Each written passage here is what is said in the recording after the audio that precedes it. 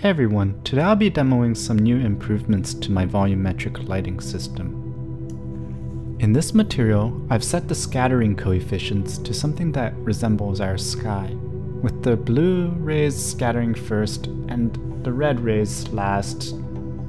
It allows the red rays to kind of penetrate through the material and it looks a bit like a sunset.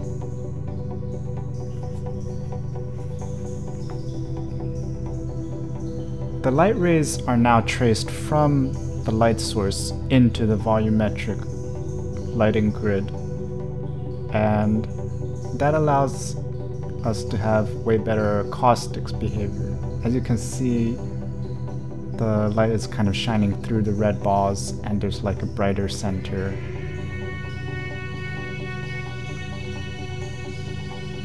Or as you can see with the bamboo or, or the droplets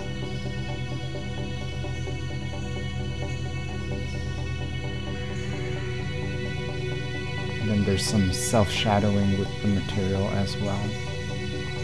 And something that kind of resembles God rays, kind of going through the volumetric material.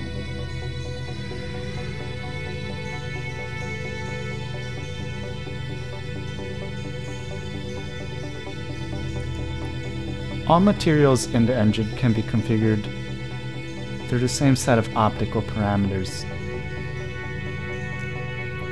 I hope to demo some more materials soon, but that's about it for now. Thanks for watching.